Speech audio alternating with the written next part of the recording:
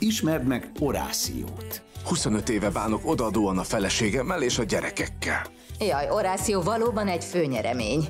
Anna férje nem tud ellenállni kolléganője szépségének, Nem gondolod, hogy megérdemlek egy esélyt az életben? és elrabolja a szívét, hogy újra fiatalnak érezhesse magát. Teljes szívemből szeretlek.